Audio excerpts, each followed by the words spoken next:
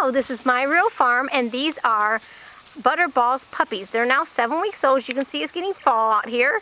They're just really playful. They like to play with toys. These um, are, the two white ones are girls. Here's a little boy.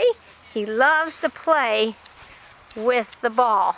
That one does. Let go of it, Carly, and let him go with it. He just likes to run around with that ball. He's really playful, these little brindle boys. It's beautiful out here today. Picked a good day. Sometimes we pick a windy day, but today is a pretty day to take pictures. So they're seven weeks old. If you have any questions about any of these puppies, you can contact us at My Real Farm.